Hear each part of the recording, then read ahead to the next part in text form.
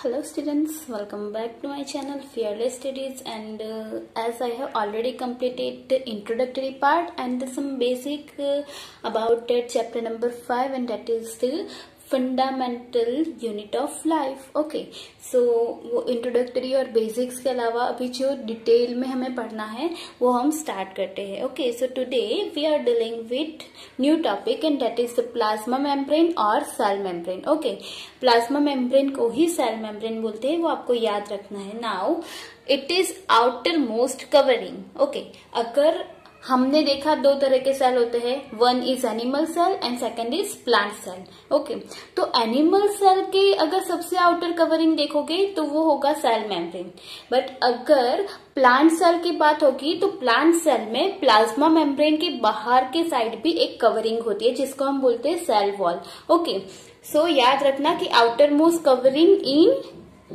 animal cell okay so it separate cell content from its external environment okay जैसे कि human body है okay okay? तो human body में कैसा होता है कि ह्यूमन के इंटरनल एनवायरमेंट को बाहर के मतलब सराउंडिंग एनवायरमेंट से सेपरेट करने के लिए अपनी स्किन होती है ओके okay? तो सेम कंडीशन है कि कोई सेल है सेल के इनर कॉन्टेक्ट इनर टेम्परेचर को या इनर कंडीशन को बाहर के सराउंडिंग से सेपरेट करने के लिए उन सेल के पास क्या है प्लाज्मा मेम्ब्रेन है okay now it allow allows or permit the entry and exit of some materials. मतलब कि समझ लो कि प्लाज्मा मेम्ब्रेन जो है ना, वो एक गेट की तरह होता है। जैसे आप लोग आई कार्ड पहन के आते हो तो अगर आपके पास आई कार्ड है तो आपको परमिशन मिल जाएगी। बट अगर आपके पास आई कार्ड नहीं है तो आपको परमिशन नहीं मिलेगी। सेम कंडीशन है कि अगर कोई मटेरियल है, वो सेल के लिए हेल्पफुल है तो प्लाज्मा मेम्ब्रेन उसको सेल के अंदर आने के लिए अलाउ करेगा। बट अगर वो मटेरियल हेल्पफुल नहीं है तो उसकी उसकी जो परमिशन है, उसको रेस्ट्रिक्ट कर देगा। ओके सेम कंडीशन है एग्जिट के लिए। अगर कोई मटेरियल हेल्पफुल है तो वो सेल के बाहर नहीं जाएगा। बट अगर कोई वेस्ट मटेरियल है, वो तो बट ऑब्वियसली उनको सेल के बाहर भेजना ही पड़ेगा। ठीक है ना? तो इसीलिए जो भी मटेरियल है, उनकी सेल के अंदर की एंट्री और एग्जिट कौन रेगुलेट करता है? Plasma membrane and also prevents movement of other materials okay बहुत सारे मटेरियल्स होते हैं। वाटर होता है गैसियस फॉर्म में कोई मटेरियल होता है ग्लूकोज है प्रोटीन है, वैसे बहुत सारे मटेरियल्स होते हैं। तो उनकी मूवमेंट मूवमेंट मतलब कि एंट्री और एक्सिट को प्लाज्मा मेम्ब्रेन रेगुलेट करता है। And plasma membrane is also known as selectively permeable membrane okay as name suggested selectively मतलब वो सिलेक्ट करता है किसको? सेल के अंदर जाना है और किसको सेल के अंदर से बाहर आना है ओके okay? मतलब सिलेक्शन करता है एंड परमिएबल परमिएबल मतलब एंट्री और एग्जिट है ना? तो प्लाज्मा मेम्ब्रेन ही कोई भी मटेरियल है, उसकी एंट्री और एग्जिट को रेगुलेट करता है तो इसीलिए प्लाज्मा मेम्ब्रेन को हम सिलेक्टिवली परमिएबल मेम्ब्रेन भी बोलते हैं। नाउ आगे बढ़ने से पहले आप प्लाज्मा मेम्ब्रेन का एक स्ट्रक्चर है वो देख लो तो आपका जो कॉन्सेप्ट uh, है वो और ज़्यादा क्लियर होगा। Okay students so this is the structure of plasma membrane okay? So here you can see the whole plasma membrane structure and that blue color structure is actually the lipid layer, lipid structure. Okay, आपको आगे पढ़ने में आएगा कि plasma membrane जो है वो lipid और प्रोटीन का बना हुआ है। तो सिर्फ़ ये समझ लो कि ये जो ब्लू कलर का स्ट्रक्चर है, जितना भी लाइट ब्लू कलर का स्ट्रक्चर दिखा है, वो लिपिड स्ट्रक्चर है। और ये जो येलो पर्पल और रेड कलर का स्ट्रक्चर है, वो आपके प्रोटीन्स है। और ये जो प्रोटीन्स है ना, वो कोई भी मटेरियल की एंट्री और एग्जिट को अलाउ करता है ओके और यहाँ पे देखो कि कैसे ये जो प्लाज्मा मेम्ब्रेन है, वो पूरा सर्कल में दिखा है, जिससे आपको पता चल चल सके कि पूरे सेल में कैसे ये प्लाज्मा मेम्ब्रेन कवर करता है ओके अभी यहाँ पे देखो, ये जो लिपिड है, उसका एक ही पार्ट को एनलार्ज करके दिखा है, जिसमें ये जो हेड स्ट्रक्चर है ना, उसको हम बोलते हैं हाइड्रोफिलिक हेड ओके जो वाटर से वाटर के साथ कॉन्टेक्ट में रह सकता है। बट ये जो जिग्जैग लाइन है रेड कलर की, वो है हाइड्रोफोबिक टेल और इसीलिए वो दोनों hydrophobic tail inside structure form करती है। और जो हाइड्रोफिलिक है, ये हाइड्रोफिलिक बाहर के साइड क्यों है? क्योंकि समझ लो ये सेल है। ठीक है ना? सेल के अंदर का स्ट्रक्चर भी तो एक्वियस रहेगा। ठीक है? तो वो एक्वियस स्ट्रक्चर के स्ट्रक्चर होगा तो वाटर लविंग मॉलिक्यूल से बाहर के साइड रहना चाहिए। अदरवाइज़ हाइड्रोफोबिक अगर बाहर के साइड पे रहेगा तो कभी ये सेल का स्ट्रक्चर फॉर्म ही नहीं हो पाएगा। इसीलिए बाहर के साइड जो है वो हाइड्रोफिलिक हेड है और अंदर के साइड हाइड्रोफोबिक टेल है। ओके इतना याद रखना है। ये जनरल बेसिक स्ट्रक्चर है प्लाज्मा मेम्ब्रेन का।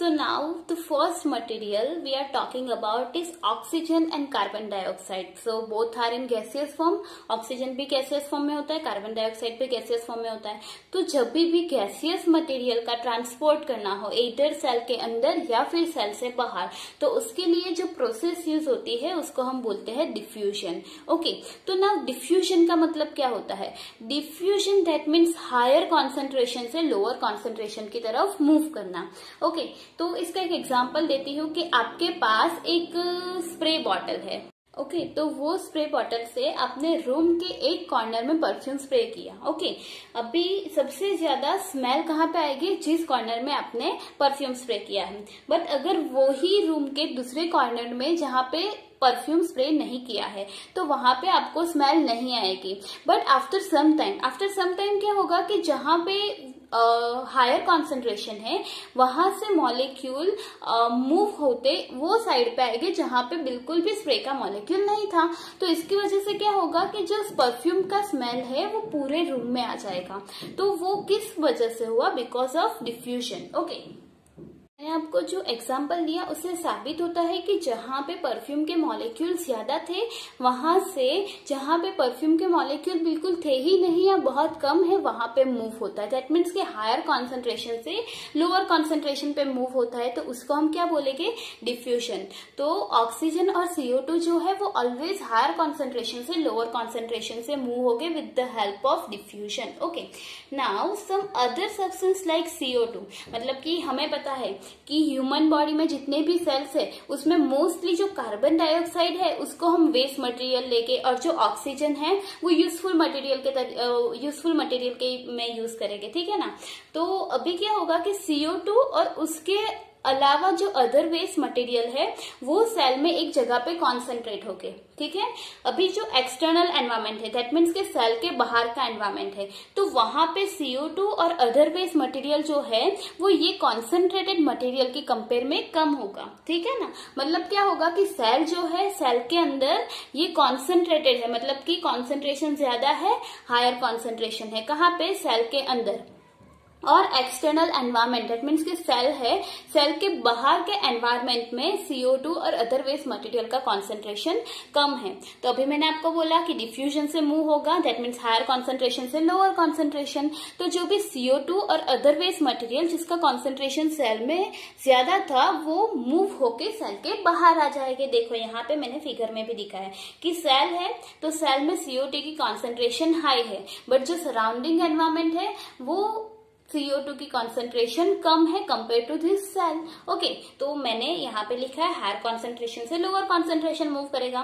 तो सेल के अंदर CO2 और अदर वॉइस मटेरियल का कॉन्सेंट्रेशन ज़्यादा है, इसीलिए वो बाहर के साइड मूव करेगा। सेम कंडीशन है ऑक्सीजन में बट ऑक्सीजन में इससे रिवर्स होगा। ऑक्सीजन में कैसा होगा कि एनवायरमेंट जो है, उसमें ऑक्सीजन का कॉन्सेंट्रेशन ज़्यादा होगा कंपेयर टू दिस सेल तो जहाँ पे कॉन्सेंट्रेशन ज़्यादा होगा, वहाँ से सेल के अंदर मूव करेगा। ठीक है ना? मतलब यहाँ पे CO2 का कॉन्सेंट्रेशन ज़्यादा है तो इसीलिए वो बाहर के साइड मूव कर रहा है। बट यहाँ पे ऑक्सीजन का कॉन्सेंट्रेशन एनवायरमेंट में ज़्यादा है, इसीलिए हायर कॉन्सेंट्रेशन से लोअर कॉन्सेंट्रेशन मूव कर रहा है। तो मैंने आपको ऑलरेडी बता दिया कि ऑक्सीजन और सीओ टू जो गैसियस फॉर्म है और जब भी गैसियस एक्सचेंज करना है तो at that time diffusion use होगा। सबसे पहले हम एक फिगर देख लेते हैं तो आपको ये जो डिफ्यूजन है, वो और ज़्यादा क्लियर होगा। Okay, so now we are discussing about the diffusion. So here, this is the simple way to explain diffusion. Okay, यहाँ पे देखो, आपने रेड इंक या डाई मॉलिक्यूल यहाँ पे ऐड किए हैं। तो यहाँ पे सबसे ज़्यादा मॉलिक्यूल है डाई के मतलब यहाँ पे हाई कॉन्सेंट्रेशन है। बट यहाँ पे तो अभी तक वो डाई मॉलिक्यूल पहुँचे ही नहीं है। दैट मीन्स कि यहाँ पे डाई मॉलिक्यूल की कॉन्सेंट्रेशन लो है। अब जैसे जैसे टाइम बिटता जाएगा, जैसे टाइम पास होता जाएगा, ठीक है ना? वैसे ही ये जो मॉलिक्यूल्स है डाई के मॉलिक्यूल्स है, वो आगे पास होते जाएँगे। और एक टाइम ऐसा आएगा कि पूरे जो वाटर है, उसमें ये डाई मॉलिक्यूल्स इक्विलिब्रियम में मिक्स हो जाएगा। ओके तो ये जो पूरी कंडीशन है, उसको हम डिफ्यूजन बोलते हैं कि हाई कॉन्सेंट्रेशन से कैसे लोअर कॉन्सेंट्रेशन की तरफ़ ये जो मॉलिक्यूल्स है, वो मूव करते हैं। और वो कब तक मूव करेगा? जब तक कि दोनों साइड कॉन्सेंट्रेशन मतलब यहाँ पे भी और नीचे के साइड पे भी कॉन्सेंट्रेशन सेम ना हो जाए। अब ये कंडीशन में बीच में कोई भी मेम्ब्रेन नहीं है। बट यहाँ पे देखो yapım जैसे कि हम सेल पढ़ रहे हैं प्लाज्मा मेम्ब्रेन पढ़ रहे हैं तो ये स्ट्रक्चर दिखाना ज़रूरी था कि जैसे समझ लो कि ये जो है वो प्लाज्मा मेम्ब्रेन है जो मैंने आपको आगे ही स्ट्रक्चर दिखाया। अभी यहाँ पे जो कॉन्सेंट्रेशन है, वो हायर है और अंदर साइड सेल के इनसाइड कॉन्सेंट्रेशन जो है, वो कम है। तो अभी क्या होगा कि diffusion that means higher concentration से लोअर कॉन्सेंट्रेशन पर मूव करना। तो अभी ये देखो, यहाँ से मॉलिक्यूल्स जो है वो प्लाज्मा मेम्ब्रेन से मूव करके इस साइड पर आ रहे हैं। पर वो कब तक आएँगे? जब तक दोनों साइड मॉलिक्यूल्स की कॉन्सेंट्रेशन सेम ना हो जाए, ठीक है? तो दैट इज़ डिफ्यूजन इसमें कोई भी मेम्ब्रेन बीच में ऐड नहीं है बट यहाँ पे एक मेम्ब्रेन है और मेम्ब्रेन को क्रॉस करके दोनों साइड की कॉन्सेंट्रेशन इक्वल होती है और मूवमेंट कहाँ से होता है? हायर कॉन्सेंट्रेशन से लोअर कॉन्सेंट्रेशन ओके तो ये चीज़ डिफ्यूजन के लिए याद रखना। ओके सो so, हमने ऑक्सीजन और सीओ टू तो कंप्लीट किया. Now second material is water okay and water is also obeys the rule of diffusion जैसे ऑक्सीजन और सीओ टू डिफ्यूजन से दैट मीन्स हायर कॉन्सेंट्रेशन से लोअर कॉन्सेंट्रेशन मूव हो रहे थे. वैसे वैसे ही सेम वाटर जो है वो डिफ्यूजन के रूल को ओबे करता है. बट जब भी वाटर का ट्रांसपोर्टेशन करना होगा तो उसके लिए हमें special case of diffusion use करना पड़ेगा. And what is the special case of diffusion that is the osmosis okay तो सबसे पहले ऑस्मोसिस क्या है, वो समझ लो। जैसे कि मैंने यहाँ पे लिखा है कि ग्लास ए है ओके तो ग्लास ए में वाटर मॉलिक्यूल मतलब कि जो वाटर का अमाउंट है, वो हमने एक कप ऐड किया है। सेम वाटर मॉलिक्यूल हमने यहाँ पे एक कप ऐड किया है। तो इससे क्या होगा कि ग्लास ए और ग्लास बी में दोनों में सेम वाटर अमाउंट है वन वन कप ओके अभी जो फ़र्स्ट ग्लास है, उसमें हमें वन स्पून शुगर ऐड करनी है, जबकि ग्लास बी में हमें टू स्पून शुगर ऐड करनी है। तो वाटर अमाउंट सेम है। यहाँ पे एक स्पून शुगर ऐड किया है और यहाँ पे टू स्पून शुगर ऐड किया है। तो ग्लास ए और ग्लास बी आपके सामने रख दिया है तो आप ही मुझे बताओ कि कौन सा ग्लास का जो वाटर है वो ज़्यादा स्वीट लगेगा। तो बट ऑब्वियसली आपका आंसर होगा ग्लास बी क्यों? क्योंकि दोनों में वाटर सेम है बट यहाँ पे हमने शुगर ज़्यादा ऐड किया है। तो इसका मतलब क्या हुआ कि अगर हमें ये जो ग्लास है, उसकी स्वीटनेस ये ग्लास की स्वीटनेस जितनी करनी होगी तो हमें ये ग्लास में वाटर ऐड करना पड़ेगा। तो अगर हमने वन कप वाटर ऐड कर लिया, ठीक है? तो हमारे पास अभी बी ग्लास में कितना होगा? टू कप वाटर का और टू टेबल स्पून शुगर के।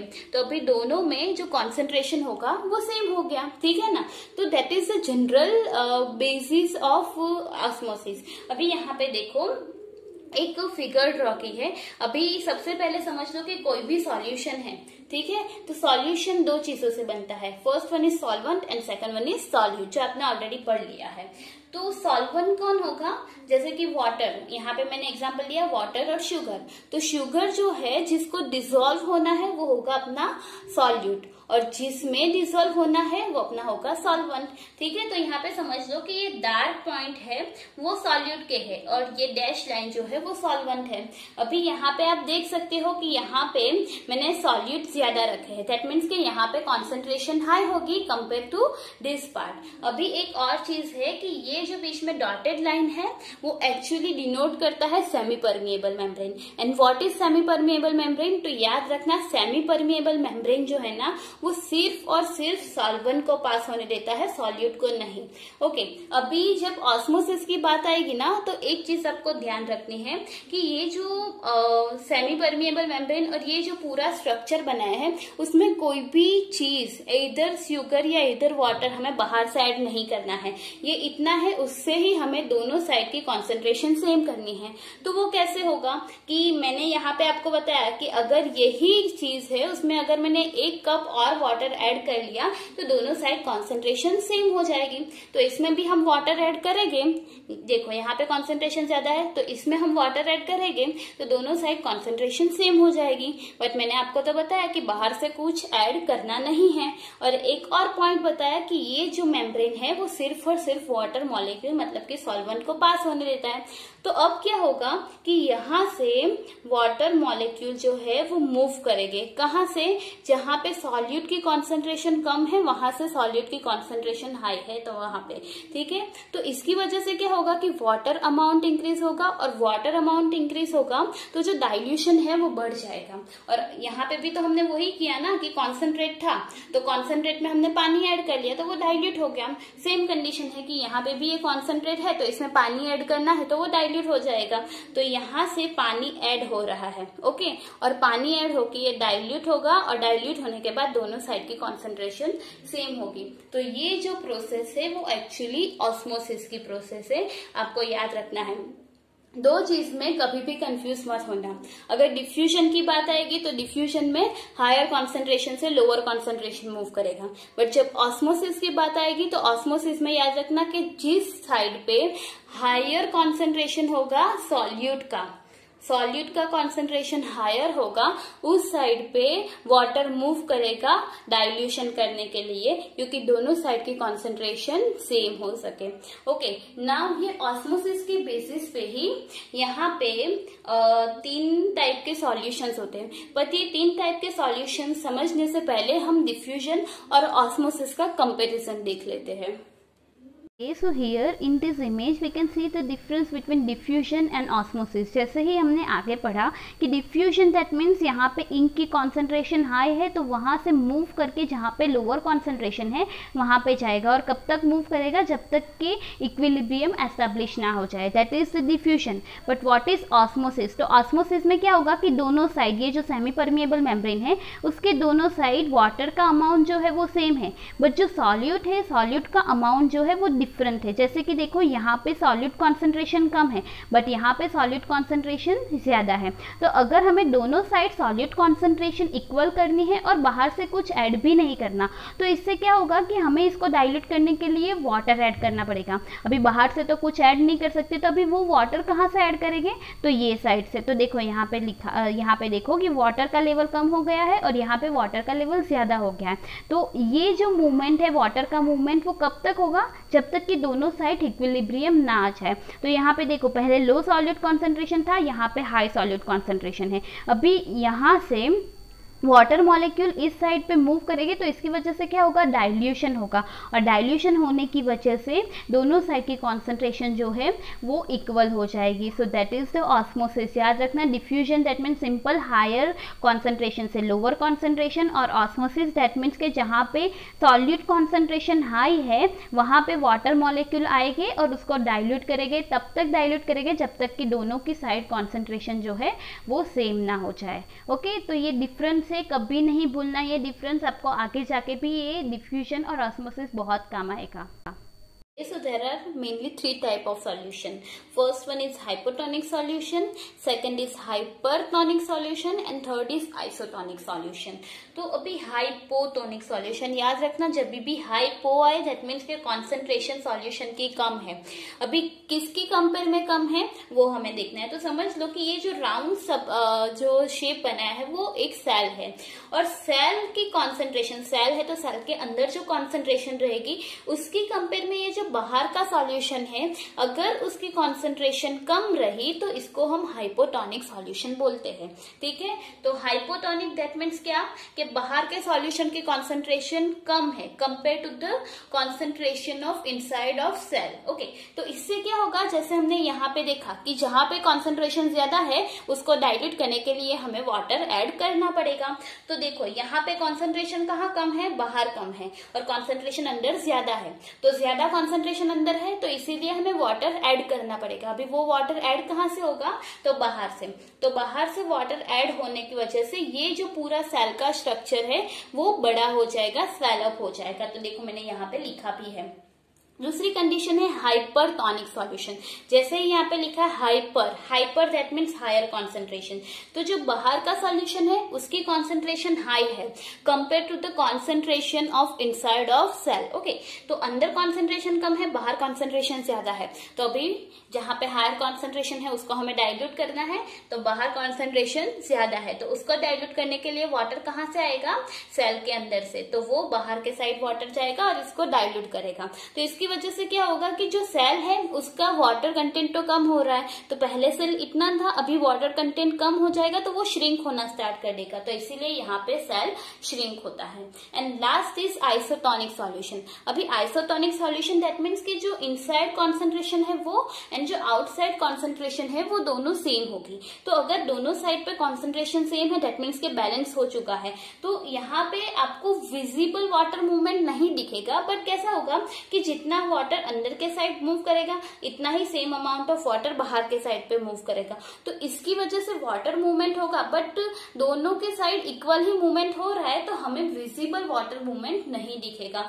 और हाँ दोनों के साइड कॉन्सेंट्रेशन सेम है इनसाइड और आउटसाइड दोनों साइड तो इसकी वजह से सेल जो है, वो सेल का कोई भी शेप चेंज नहीं होगा। तो याद रखना, तीन सॉल्यूशन है hypotonic hypertonic and isotonic isotonic सबसे इजी है, अंदर और बाहर दोनों कॉन्सेंट्रेशन सेम रहनी चाहिए। हाइपरटोनिक दैट मीन्स बाहर की कॉन्सेंट्रेशन ज़्यादा होनी चाहिए और सेल के अंदर की कॉन्सेंट्रेशन कम होनी चाहिए। एंड हाइपोटोनिक दैट मीन्स बाहर के सॉल्यूशन की कॉन्सेंट्रेशन कम है एंड सेल के अंदर की कॉन्सेंट्रेशन ज़्यादा है। ओके okay, तो ये जो बाहर के सॉल्यूशन है ने उसको हम बोलते हैं ये कंडीशन में हाइपोटोनिक सॉल्यूशन ये कंडीशन में हाइपरटोनिक सॉल्यूशन एंड इस कंडीशन में आइसोटोनिक सॉल्यूशन कंफ्यूज मत होना।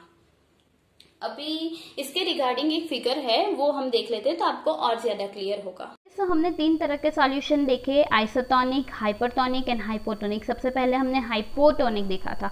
हाइपोटोनिक सॉल्यूशन दैट मीन्स जो सॉल्यूशन है उसका कॉन्सेंट्रेशन कम होना चाहिए।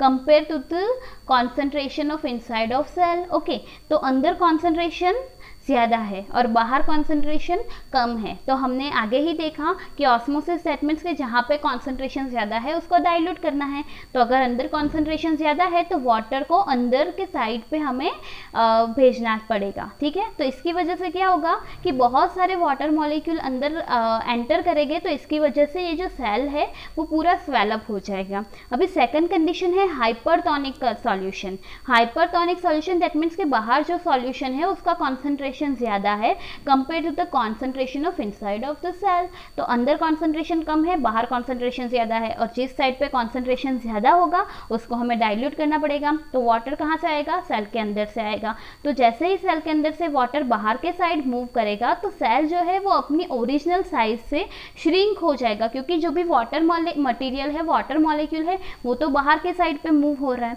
तो हाइपोटोनिक सॉल्यूशन में सेल जो है, वो श्रिंक हो जाएगा और वाटर बाहर के साइड मूव करेगा।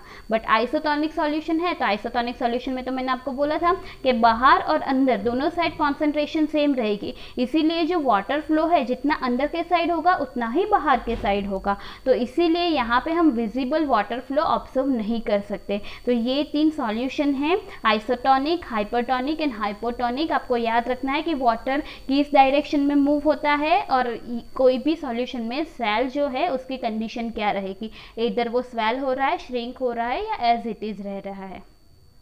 So unicellular fresh water organisms that means कि जो भी यूनिसेल्युलर ऑर्गेनिजम्स है, जो फ्रेश वाटर में रह रहे हैं लाइक अमीबा है पैरामीशियम है, वो and most plant cells which is multicellular organism तो ये कंडीशन में वाटर जो है, वो कैसे गेन होगा? ऑस्मोसिस के थ्रू जो हमने यहाँ पे पढ़ लिया। जबकि ऑक्सीजन और कार्बन डाइऑक्साइड है, वो कैसे गेन होके with the help of diffusion तो हमेशा याद रखना ऑक्सीजन कार्बन डाइऑक्साइड आएगा तो डिफ्यूजन होगा, और जब भी वाटर की बात होगी तो ऑस्मोसिस होगा। एंड जो ऑक्सीजन कार्बन डाइऑक्साइड और H2O के अलावा जो मटेरियल्स है लाइक मैंने आपको पहले भी बताया ग्लूकोज है प्रोटीन है वाइटामिन है, बहुत सारे मटेरियल्स है। तो वो अदर मॉलिक्यूल्स है, उसके ट्रांसपोर्टेशन के लिए हमें एनर्जी चाहिए। इधर उसको सेल के अंदर एंटर करना है या सेल के बाहर एग्जिट करना है। तो वो अदर मॉलिक्यूल्स के लिए हमें एनर्जी यूज़ करनी पड़ेगी। Now next structure of plasma membrane okay इतना तो आपको समझ में आ गया कैसे gaseous form water material and other molecules जो है वो एक्सचेंज होते हैं सेल के अंदर और सेल के बाहर। अभी हमें प्लाज्मा मेम्ब्रेन का स्ट्रक्चर पढ़ना है ओके okay. तो सबसे इंपॉर्टेंट पॉइंट है that plasma membrane is made up of lipids and protein हमेशा याद रखना कि प्लाज्मा मेम्ब्रेन लिपिड्स और प्रोटीन सिर्फ़ दो ही चीज़ों से बना हुआ होता है and plasma membrane is flexible structure and it is observe by electron microscope अपना जो नॉर्मल लाइट माइक्रोस्कोप होता है, अगर उससे आपको प्लाज्मा मेम्ब्रेन मेम्ब्रेन दिखना है तो वो सिर्फ़ इतना ऐसा ही दिखेगा, एक लाइन स्ट्रक्चर दिखेगा. बट अगर ऐसे डिटेल स्ट्रक्चर स्टडी कर करनी है तो आपको इलेक्ट्रॉन माइक्रोस्कोप ही यूज़ करना पड़ेगा।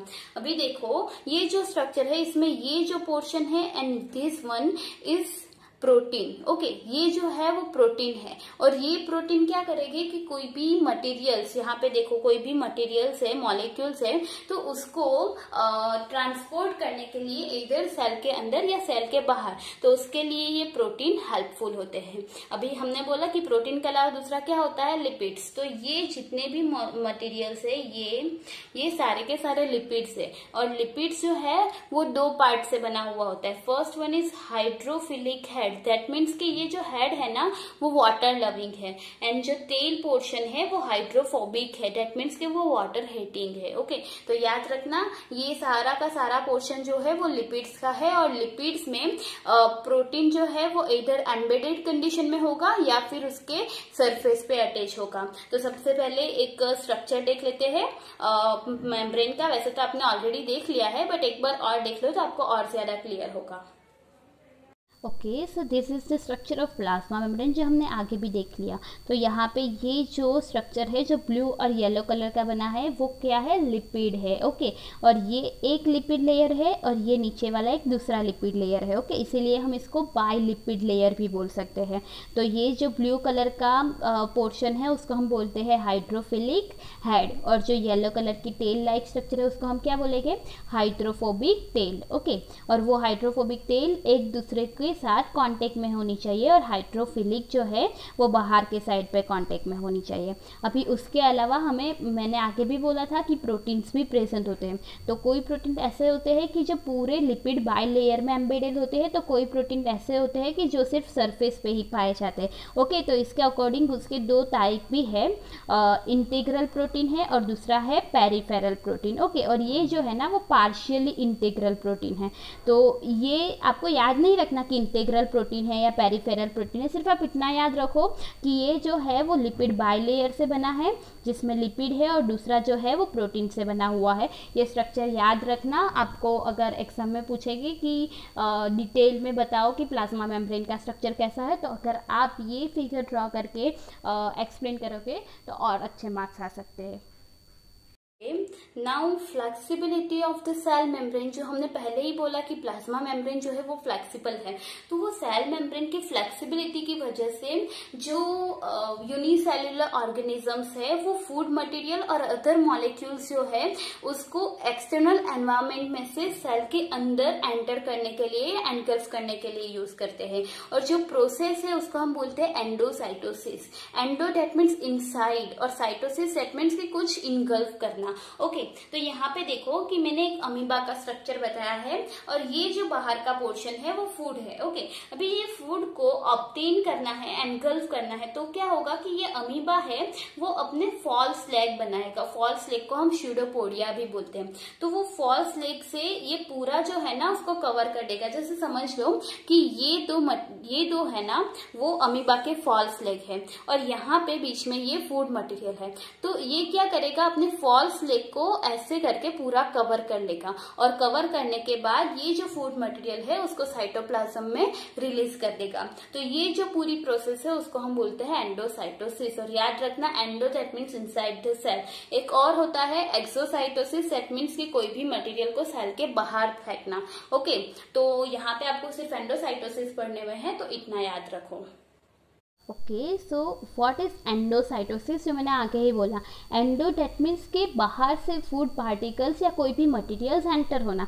तो समझ लो कि ये जो ब्लू कलर स्ट्रक्चर है, वो सेल मेम्ब्रेन है। देखो यहाँ पे लिखा भी है सेल मेम्ब्रेन और बाहर से ये सारे फ़ूड मटेरियल है या कोई मटेरियल है।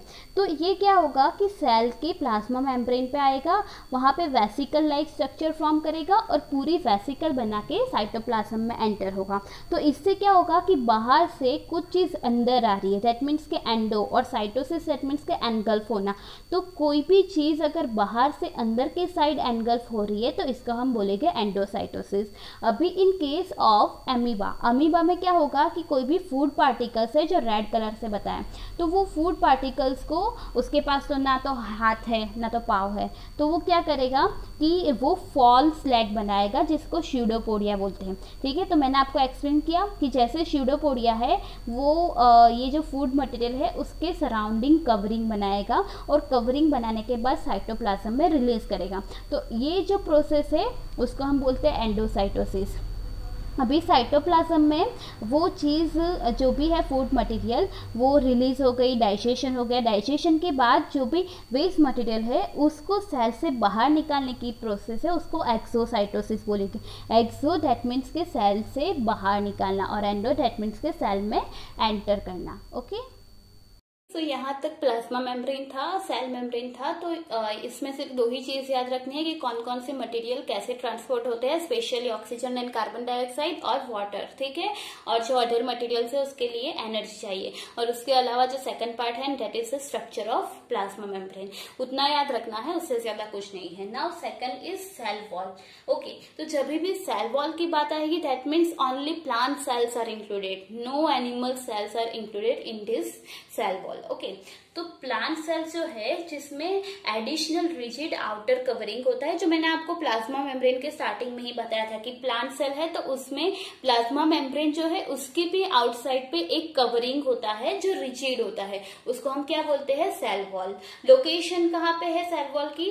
That is the outside the plasma membrane now cell wall is made up of what cellulose जैसे सेल मेम्ब्रेन किससे बना था? याद करो? लिपिड और प्रोटीन से। वैसे ही वॉल किससे बना है? सेल्यूलोज से बना है। And cellulose is complex substance और कॉम्प्लेक्स सब्सटेंस की वजह से ही वो रिजिड है। और रिजिड होने की वजह से वो स्ट्रक्चरल स्ट्रेंथ प्रोवाइड कर सकता है ओके रिजिड एडमिट समझ लो कि वो स्ट्रांग मटेरियल है और स्ट्रांग मटेरियल की वजह से ही पूरी जो प्लांट है ना, उसमें स्ट्रक्चरल स्ट्रेंथ प्रोवाइड होती है। नाउ ड्यूरिंग ऑस्मोसिस ऑस्मोसिस के टाइम पे क्या होगा? अगर हाइपरटोनिक सॉल्यूशन की बात करें हाइपरटोनिक सॉल्यूशन दैट मीन्स ये जो सॉल्यूशन है, उसकी कॉन्सेंट्रेशन हाई होगी compare to the cell concentration okay तो इनसाइड कॉन्सेंट्रेशन कम है और बाहर हाइपर दैट मीन्स कॉन्सेंट्रेशन ज़्यादा है। तो इससे क्या होगा कि अगर बाहर के सॉल्यूशन को हमें डाइल्यूट करना पड़ेगा तो वाटर मॉलिक्यूल्स जो है, वो सेल के अंदर से बाहर आ जाएँगे। तो ये देखो कि वाटर बाहर आ रहा है। बट हमने एक चीज़ देखी कि जो सेल वॉल है वो तो रिजिड है, ठीक है? मतलब वो मूवमेंट नहीं कर सकता। बट जो प्लाज्मा मेम्ब्रेन है, वो तो फ्लेक्सिबल है। तो जब भी वाटर बाहर जाएगा तो सेल वॉल द सेल तो श्रिंक होगा ही होगा। बट सेल वॉल जो है, वो रिजिड है, इसीलिए उसमें कोई भी चेंज नहीं आएगा। बट जो प्लाज्मा मेम्ब्रेन है, वो श्रिंक होता जाएगा, और इसीलिए ये स्ट्रक्चर में से ऐसे स्ट्रक्चर में फॉर्म होगा। और ये जो चेंज होता है, उसको हम बोलते हैं प्लाज्मोलिसिस और प्लाज्मोलिसिस आपको कब ऑब्ज़र्व होगा? जब सेल हाइपरटोनिक सॉल्यूशन में प्लेस होगा। तो यहाँ पे देखो देखो मैंने लिखा भी है only plasma membrane shrink no effect on cell wall now only living cells are able to absorb water by osmosis मतलब कि जो लिविंग सेल्स है, अगर डेड सेल है तो ना उसमें साइटोप्लाज्म होगा, ठीक है? अगर साइटोप्लाज्म ही नहीं होगा तो उसमें कोई तरह के सॉल्यूशन की कॉन्सेंट्रेशन नहीं होगी। और अगर कॉन्सेंट्रेशन डिफरेंस नहीं होगा inside and outside of the cell then osmosis कभी भी नहीं होगा। और ऑस्मोसिस नहीं होगा तो वाटर एब्सॉर्ब नहीं होगा। इसीलिए यहाँ पे लिखा है only living cells are able to absorb water by osmosis now Então, यहाँ पे तो बात हो गई हाइपरटोनिक सॉल्यूशन की। बट यहाँ पे यहाँ पे है hypotonic solution hypotonic that means के बाहर का जो सॉल्यूशन है, उसकी कॉन्सेंट्रेशन कम है। Compare to the concentration of inside of cell okay तो इससे क्या होगा कि अब, अभी हमें जो सेल के अंदर जो कॉन्सेंट्रेशन है, उसको डाइल्यूट करना पड़ेगा। दैट मीन्स के वाटर जो है, वो सेल के अंदर जाएगा। तो अगर वाटर सेल के अंदर जाएगा तो प्लाज्मा मेम्ब्रेन अपनी साइज़ इंक्रीज करेगा। बट जो सेल वॉल है, वो तो रिजिड है वो कोई तरह का मूवमेंट नहीं देगा। तो इसकी वजह से क्या होगा कि जितनी स्पेस होगी ना इतना तो वाटर इनटेक होगा ही होगा। बट एक टाइम ऐसा आ जाएगा कि आ, जो प्लाज्मा मेम्ब्रेन है, वो वॉल पे प्रेशर जनरेट करना स्टार्ट कर देगी। और इसी वजह से, ये देखो यहाँ पे मैंने लिखा है कि अगर कोई चीज़ आपको प्रेशर करती है ना, आपने न्यूटन थर्ड लो पढ़ा होगा कि फोर्स जो होता है, वो इक्वल इन अपोजिट डायरेक्शन में होता है। तो अगर समझ लो, प्लाज्मा मेम्ब्रेन ने यहाँ पे से फोर्स देना स्टार्ट किया तो उसका opposite and equal force cell wall plasma membrane को देगा। और एक और एडवांटेज है सेल वॉल का, कि सेल वॉल की वजह से बहुत excess amount of water cell के अंदर नहीं आएगा और इसकी वजह से बर्स्टिंग नहीं होगा, ठीक है? जैसे आपको एक एग्ज़ाम्पल देती हूँ, कि बलून है, ठीक है? बलून में आप पानी भरते ही जा रहे हो, भरते ही जा रहे हो, और जो बलून की कैपेसिटी है, उससे भी ज़्यादा वाटर आपने ऐड कर लिया है। तो एक टाइम ऐसा आएगा जाएगा कि बलून जो है वो बस्ट हो जाएगा, फट जाएगा। बट अगर वही बलून को आपने एक कंटेनर में रखा है जो चारों तरफ़ से पैक है ठीक है? तो अभी उसमें पानी भरोगे ना तो इतना ही पानी आ सकेगा जितना वो कंटेनर की कैपेसिटी है। उससे ज़्यादा पानी आप ऐड नहीं कर पाओगे बलून में। तो इसकी वजह से क्या होगा कि वो कंटेनर की वजह से बलून का बर्स्टिंग प्रिवेंट हो रहा है। तो सेम कंडीशन है कि यहाँ पे कंटेनर कौन है? सेल वॉल है। और बलून कौन है? सेल मेम्ब्रेन है। अगर कंटेनर प्रेजेंट है तो बर्स्टिंग नहीं होगा। अगर कंटेनर प्रेजेंट नहीं है और बहुत सारा पानी अभी भी इंटेक हो रहा है तो वो बर्स्ट हो जाएगा। सो ये स्लाइड में मैं आपको क्या एक्सप्लेन करना चाहती हूँ कि ऑस्मोसिस के जो तीन टाइप के सॉल्यूशंस होते हैं, उसकी प्लांट सेल और एनिमल सेल्स में कैसे डिफरेंट इफ़ेक्ट होती है। जैसे कि समझ लो आइसोटॉनिक सॉल्यूशन है डेट मीन्स के सबसे पहले तो ये देखो कि यहाँ पे रेड सेल लिखा है और रेड सेल एनिमल्स में प्रेजेंट होते हैं। तो रेड सेल को हम यहाँ पे एनिमल सेल की तरह कंसिडर करेंगे। अभी क्या होगा कि जो सेल है ना रेड सेल है तो अगर उसको आइसोटॉनिक सॉल्यूशन में रखेंगे तो बाहर भी इतना ही कॉन्सेंट्रेशन होगा जितना कि सेल के अंदर कॉन्सेंट्रेशन है। तो इसकी वजह से सेल जो है वो औसम है। उसको कोई फ़र्क नहीं पड़ रहा है। वो जैसा है वैसा है, एकदम मस्त है, बिंदास है।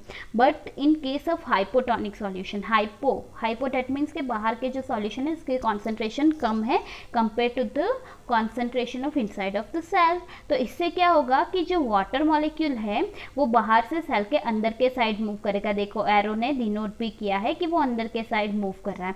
तो अंदर के साइड मूव करने की वजह से सेल जो है, वो स्वेलअप हो जा रहा है। और स्वेलअप हो जाने की जो प्रोसेस है, उसको बोलते हैं साइटोल cytolysis okay now in case of hypertonic solution hypertonic that means के बाहर जो है, वो कॉन्सेंट्रेशन ज़्यादा है compare to the inside concentration okay तो इससे क्या होगा कि बाहर कॉन्सेंट्रेशन ज़्यादा है तो उसको डाइल्यूट करना पड़ेगा। तो वाटर सेल से बाहर आ जाएगा और वाटर सेल से बाहर आ जाएगा तो सेल जो है, वो श्रिंक हो जाएगा और जो श्रिंक होने की प्रोसेस है, उसको प्लाज्मोलिसिस बोलते हैं।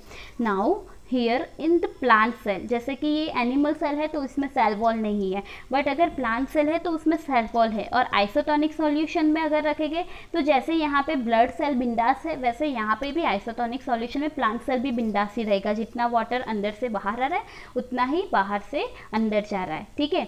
But in case of hypotonic solution okay hypotonic solution that means के वाटर मॉलिक्यूल जो है, वो सेल के अंदर आ रहा है। तो ये क्या होगा कि इसमें वाटर अमाउंट बढ़ रहा है और वो कब तक बढ़ेगा? जब तक कि ये सेल वॉल है ओके और सेल वॉल की वजह से ये जो प्लाज्मा मेम्ब्रेन है, उसका और ज़्यादा एक्सटेंशन नहीं होगा और एक्सटेंशन नहीं होगा तो इसका बर्स्टिंग नहीं होगा।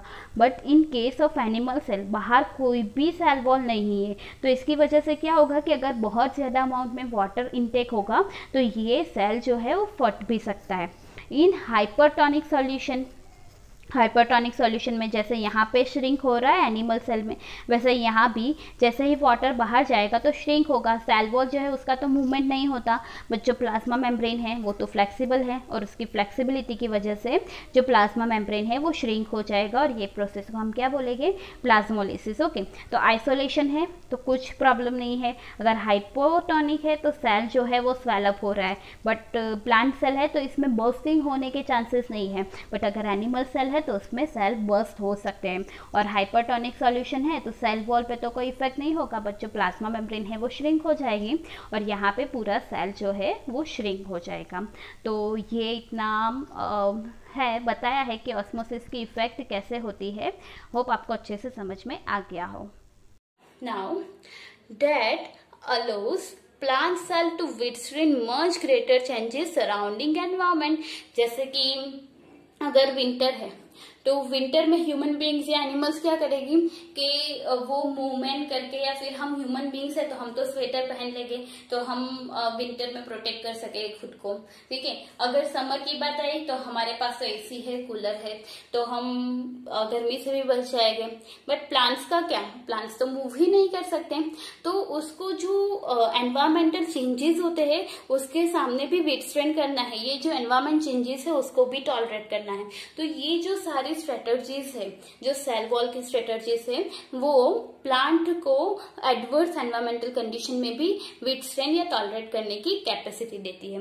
तो यहाँ पे हम आज का लेक्चर फिनिश करते हैं, जिसमें हमने प्लाज्मा मेम्ब्रेन और सेल वॉल पढ़ा। नाउ इन नेक्स्ट लेक्चर हम न्यूक्लियस और साइटोप्लाज्म पढ़ेंगे। अगर यहाँ तक आपको कुछ भी क्वेरी हो तो आप मुझे पूछ सकते हो डायरेक्टली या कमेंट करके। Thank you so much